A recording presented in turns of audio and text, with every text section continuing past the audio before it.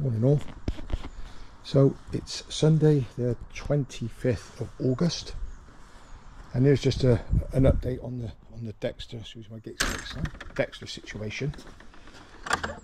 So he's been with me since Tuesday, but it was late Tuesday, so really I've had him four full days. This is a very quick overview of what I think um, Dexter's life's been like before the rescue and not the police, the initial people that, that had him, I think have literally stood in a field or in a big garden with a flinger with two or three tennis balls. They've thrown one, he comes back, spits one out, they throw another. Why? Because when you retreat, when I'm trying to do retrieving, I throw a ball, he'll come back better and he's off hunting again. So we've had to work on that. Obviously his heel work was awful, so we'll show you a bit of that. His recall was okay-ish, but he would come back when it suited him. So we'll show you a bit of that. His sit would only be with food, but everyone knows I don't train with food. So we're going to um, show you how we get along with that. Overall, he's a lovely soft dog. He's just never had any rules, boundaries or expectations given to him by the original owners. The police probably put a few in when he was training with them. And Judy's done a really good job with him in the rescue and done what she could, bearing in mind she got a full-time job as well as running a rescue and other dogs. He's been out with me now um, every day. He's had at least two training sessions and a long lead walk or a short lead walk. Um, today he's going to get a session this morning. Then I'm going to take Bill out and run him separately. Then we got to go for a day's work. I've got three lessons. So after the lessons I'll get another bit and then tonight I'll get probably a walk around the block. How have I broke it up with the heel work? Some days so basically when I walk out of my gate, I got a field across the road. If he pulls, we go around the block, all on concrete. If he pulls, we'll go around again. And we'll keep going around until he walks nicely. We've worked a lot on thresholds, the door where he is now, as you can see, and the gate. The jumping up is another thing I've really had to work with. Um, he's been allowed to get away with that non-stop, and none of my dogs jump. He's get in when I'm going in that house, he'll hardly jump at me. But outside like this, he wants to get to me, you see. So we're just going to make him, I'll walk towards him, I'll show you what happens. So when I walk towards him, now he calms, he waits. He wants to be with you, but in a strange way, he doesn't want to be, he's not a cuddly dog. Like he'll come by you for a bit first and he's like, oh right, I gotta go off. But anyway, we're very early days, we're four days in. So I'm gonna put the lead on him and I'm gonna show how he comes out that back door now and how he goes through that gate um, and then we'll take you for a I'm not going to video the whole session because I'm sure you'll all fall asleep but I'm going to show you a bit of everything that we've been doing. Please please please give me your feedback. He's the first dog I have rescued from a rescue ever. All my other dogs have come from breeders but they've been seven eight nine months old or they've been puppies. So I'm always looking to waste if you think I'm doing something wrong please tell me. Please tell me because I'm keen to learn. Uh, apart from that, I hope you enjoy the video. Please try and stay awake till the end and we'll, we'll speak to you okay. soon. So the first thing with Dexter we worked at is having the lead on. He was, he would jump around, he wouldn't sit nicely. So now let, good boy, we put the lead on. And that's how, that's how we, what we've worked on. But now we got to do the door. So set him up. So the lead's going high, high and tightish, but this is no lead. So let's watch what happens here. Opening the door. Remember, he was dragging me. Anyone who saw that video would say he was dragging me. So, let's watch what he does. Push it open. So now he's waiting. Dexter. Good boy. Wait. Come on. And again, apologize about my camera angles because uh, Right, so we're going to do exactly the same with this side gate. Watch. So where he's putting me out, now he waits, now he waits, now he waits. Over time I'll get him to go. Good boy. So now he waits for me and there's no pudding. Heel. And that is how we have done every single walk. But bear in mind he comes with me a lot out in the truck. What I'll do is I'll now, before I go over there and do the training, I will go to the truck and put him in the truck and show you what we've worked on when he comes out the truck. Because if I said like a greyhound after a rabbit, that's what he's like when he comes out the butt, the butt back. But we'll, I'll show you now. Anyone who watched my video the very first night I got this dog will know that on this lead, he well, he did take the skin off my hands where he pulled so much, and it stings a little bit, and I may have said the odd swear word. So, my training kit for Dexter is a whistle, tennis ball, and this lead. What we've worked on with that long line is if I hold it short and say heel, he walks to heel. And if I lengthen it and say get on, he can leave me. That's what we've been trying to do. Now, when I open this door, he should wait. When he comes out, that's a different kettle of fish. But I'll show you about how I've tried, or I'm trying, to just keep him calm. He wants to get out of there, get off here and get in work. But he's got to understand it doesn't work like that. He has to wait. Because calm will get him everything. So, as you can see, he sits really nicely. Dexter, Dexter, come, come on. So, when I first got this dog, I literally would put him on the back of this truck, like here now, and he would be jumping over me, jumping on me, jumping everywhere. But what I wanted him to do, excuse my camera skills a minute, but now watch, wait. So now he has to wait. So now he's in a calm state. Come on, boy, he can come off. And again, that is repetition to the point that I think it was Wednesday, the first day I got him, the day after I got him, I did that nearly 40 times, one after the other. Every time he tried to jump off, I put him back in. Repeat, repeat, repeat, repeat. I could have easily given up after 10. But no, that's not how it works. So, I'll catch you in We'll do a little bit of heel work from here and then I'm going to um, stop the video and then we'll come back when we get to the field. So, straight on the long line, which he knows means a freedom. So I'll try and angle this down. So all I'm doing, making a little heel lead. Okay, now intention is to get to the field. If he pulls me, we'll go around the block. If he pulls me, we'll go around again. So you may only see me walk around the block. If he walks nicely, we're going to go straight to the field. Dexter, heel. So this is where we're at this is where we're at and if you notice if you notice heads up all the time now so he's nice and relaxed this is what we've got so he looks at the field and he just walks really nicely so as soon as I say uh which has always been my naughty word for dogs he checks in with me but now look literally holding it in my hand so I'm just going to speed up then I'm going to slow down. You see? So now he stops when I stop. I'll give a little test before we get going. So now we're going to walk on the grass, which is where I had to keep picking his head up. So straight down. So pop that head up. Now watch. Head up again. So this is where we're at. So with the heel work, I'm really pleased for four days. I'll come back to you a sec when I'm going to let him go. We may train on this bit, we may go to the big field. Okay, back to So as you can see, we're at a nice big field. Anyone's had a lesson will tell you, I tell them the same. Me and Dexter don't walk around this field. Me and Dexter are going to train along this hedge and that hedge. And I can do turns, I can do recalls, and I can do retrieves. Sometimes I come to the wider spaces, retrieving's worse. So what I will do later on tonight is I will do a very short video of, as, a, as an alleyway by me, which runs parallel to a hotel, very narrow, which means he goes out and he can he can't run round, he can't do that circling thing, so it helps me. But as soon as he's done a good one there like he did yesterday morning, I've come to the field, he did okay. So as you can see, heel. He's still walking lovely. Uh -uh. The odd little nose down, right now I don't care about that. But look, compared to where he was, beautiful. And he understands heel means got hold my hand.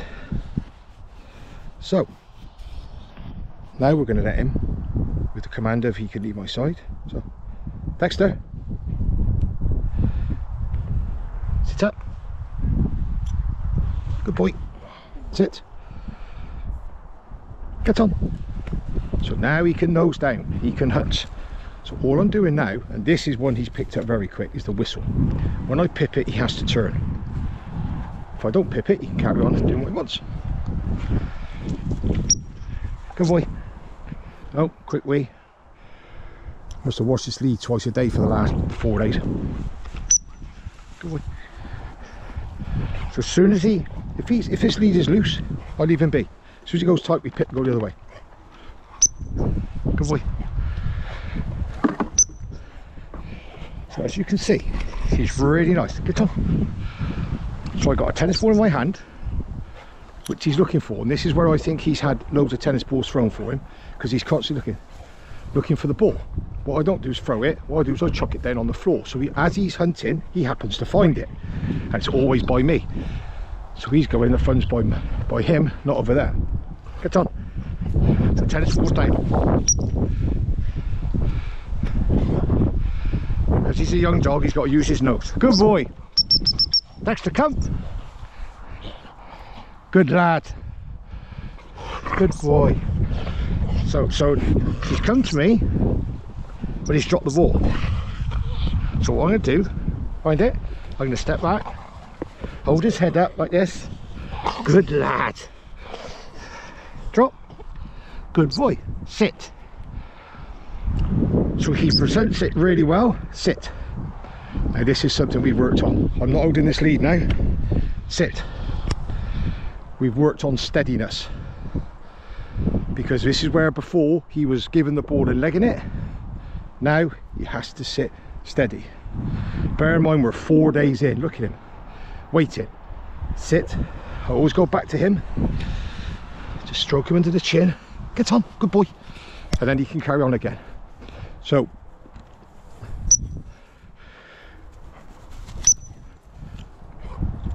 so because he's a very very intelligent dog but he's only nine and a half months old so if the biggest challenge for me is I've got to reel myself in because I think his potential is massive but I've got to be very careful not to rush him. But on the other side because he's so intelligent if I just take him out if I just take him out and just do recall and turning and the odd and the odd retrieve it ain't going to make him work. So what I've also done is every session I had one like I added something new. So I've added the sit whistle. Only at close range and he's getting there but again work in progress. So at the moment we're working on heel we're working on hunting left and right. Pip whistle is he has to turn. Obviously a recall's a recall. Uh, retrieve the ball and a little sit whistle. But we'll have a look see how you get on. One. Good boy. Good boy. So his turn's lovely. So what I do is as soon as he comes back towards me that's when I teach him sit. Good lad where's it? Come on. Dexter. Like that.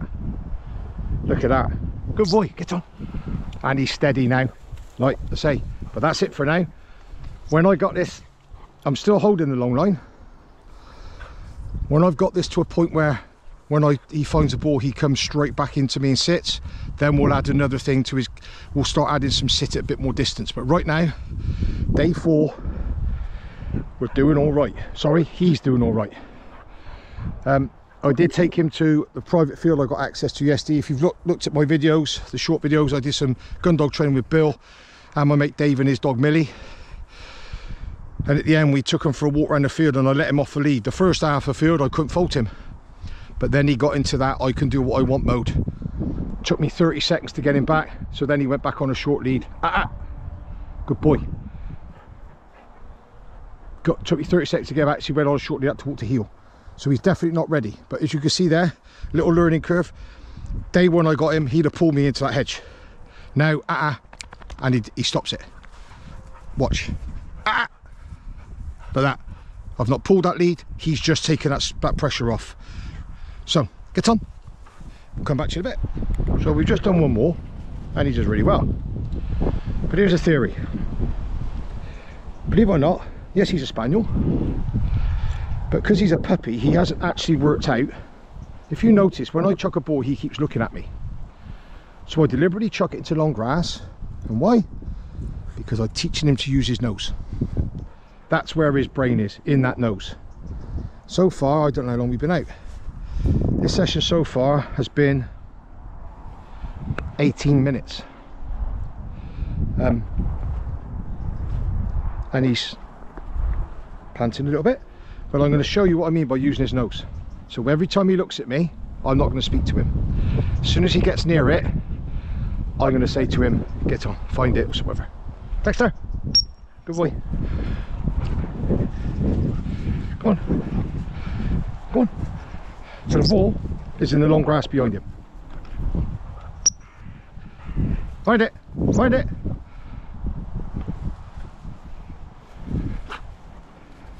Find it. Good boy. Find it.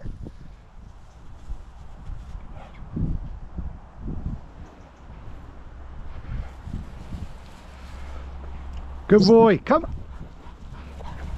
Good boy. Good lad. Good lad. Drop. Yes, good boy. Simple as that. If he looks at me and I keep, if he every time he looks at me I speak to him, he's just constantly sit and look at me. As soon as I stop speaking to him and he puts his nose down the ears or I find it, basically he's thinking he thinks his nose leads him to the prize. That's what I want. Dexter. Good lad. So now, oh well, one way to find out. We're going to try something. Not theoretically live, but it's live and I'm not going to edit this out. So if after I say that word, this video gets dropped or cut, you don't see anything, you can hold me to account. What I'm going to try and do is do the turn whistles and drop this with drop this lead. So watch.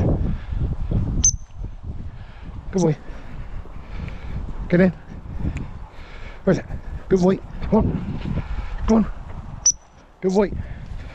So now we're not holding the lead. Look, there's the lead over there. Come on. Good boy. Good boy. Come on. Tennis ball's in there now. Let him use his nose. Now look. Use. There you go. Good boy. Come. Good. No. Ball. Yay! Good boy. Drop. Sit. Sit. So we had no holding the lead. We had a retrieve. He comes straight in. If he drops it, before I say, I walk away from it. He picks it up. He commits it to me. He held it till I said, and now I'm keeping him steady. He's got a ah, ah, ah, ah. Sit. Sit. As I've said on my previous training videos with Billy, if I let him move, he'll always move. He has to understand he stays still and I'll go back to him, praise him, then he gets released. Good lad. Okay. So, four days in, this is where we're at. After seeing him off lead yesterday, we're probably a long way from letting him off, off lead here. He's just, you know, I, I'm trying to, this is where I have to reel myself in. He's 10 months old next week. And I say, I don't know how the police train. They do a lot with ball, like every time he finds something, they chuck a ball for him. Whereas I'm doing the opposite now. He has to find a ball to get something. Um, obviously how the police train a drugs dog and how I want to train a gun dog massively different. But we've got a dog here that's had various inputs. His initial owners I don't know them and I'm just making an assumption. But it looks like he was clearly too much for them because they had I believe uh, youngest children and they have literally thrown a ball constantly. Great for his drive but they've put drive into him now that I don't want. I don't want him just to keep going bang bang bang. I want him to go when I send him and stop when I tell him then he's gone to, thank, thankfully Judy's rescued him, otherwise he'd been put to sleep. Um, and I'll touch on that in a minute. Good boy. She done a bit with him, calmed him right down from the start. Had him a few weeks, then he went off to the police. They've done their bit. He's gone back to Judy. She had him for another three weeks, and then he's come to me. So he's really like, it's like a, he's been passed from pillar to post through no fault of his own and through absolutely no fault of the rescue um, and theoretically no fault of the police um, again that's another discussion So I'm trying to just get some stability into him and make him understand that this is a great place, the world's a great place, it's a world of adventure and you can have lots of fun. And if I can get him to the level of Bill, this dog will have the best life ever. Because in the season when he works, he will do everything that his breeding line was bred to do. And he will thrive. I generally think he will thrive. Now, if he doesn't make gun dog standard, then obviously that's a discussion I have to have the rescue. But if he doesn't make gun dog standard, that's my fault. Because I'd rather have a dog like Dexter who's got loads of drive and I've got to try and reel him in than the dog with no drive and try and put it into him.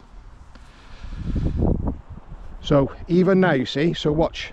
So there's the end of the lead. First I got him, I didn't in that now. So now he just walks. So I can just walk now, not say anything to him, and he's going to follow me. So he's going to hit the end of the lead, bang. But now he comes straight back off it instead of standing there hopping on his back legs like he was the other day. So I'm going to stop the video at this because I'm talking more than I should be training. But he's going to get another two sessions today. So I'll video another one later and I'll add it to this uh, at the alleyway. Dex, come here. She's got friend you like. Good boy. Good boy. Um, oh, just a, another couple of pointers. As I said, if it wasn't for Judy saving him, he'd be put to sleep. For people that aren't aware, and I'm going to reiterate this almost on every video now, rescues in the UK are full. Full to the brim. Without people fostering and taking some of those dogs at those rescues, the rescues couldn't take any more dogs. If a dog is in the council pound, it gets seven days. If a rescue go, I got spot in 10 days, they will hold it back. But if in seven days, no rescues have come forward and there's no space, dogs get put to sleep. I've not done an official thing, but I am going to. But I would say probably right now in the UK, if I said 100, I'd probably be 200 out. 100 dogs a week, perfectly healthy, like Dexter, perfectly calm, no nastiness or other, are being put to sleep every week. And for some reason, this government has never addressed it. The previous government didn't address it. What does it take? It takes for rescues to be funded. It takes for bigger rescue centres to be built. It takes for the rules of around council pounds to be changed.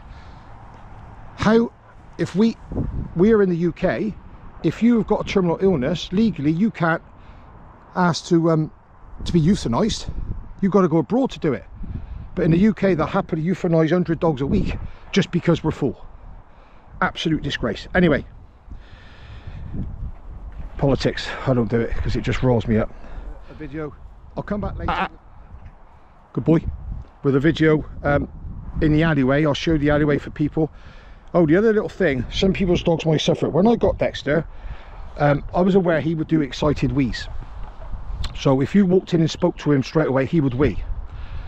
So he did one the first night he come home and I noticed that when he did it, he let down. So what we started to do from Wednesday morning is when I first come down in the morning, I don't speak to him, I walk past him.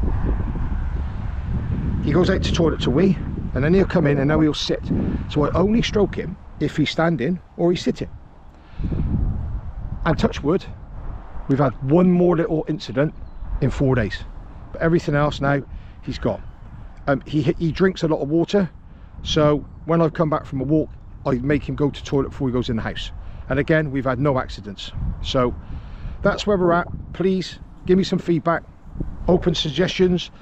If there's anyone out there who's got a dog they've just taken on and they're going, how do I do this? Give me a shape. Come and meet up. We'll train together. Why? My very first rescue dog. But now he's checking in on me. See, watch. Good boy! So now I don't have to say this way, I'll just hit the whistle and he follows. So again, that's how clear it now look. Good boy! Yes, good lad! So that's where we're at for now. Um, I've got a day of lessons, but I will do another video later and I'll add it onto the end of this. Please, if you haven't fell asleep already, thank you so much for watching. Please like and subscribe if you don't already. Uh, there'll be another video of Dexter in four days time and then I might just do one a week because we need to crack on. But apart from that, thank you everyone. Much love. Give your dogs a cuddle. Different place. So much people will know where this is. Say rules. Blow the whistle. And a turn. Good wait. Is a bit of a tester here because there's rabbits everywhere. You see all their warrens. Good boy. Dexter, come. You see, recoils a little bit. He's here. He's here. Sit. Good lad. Get on.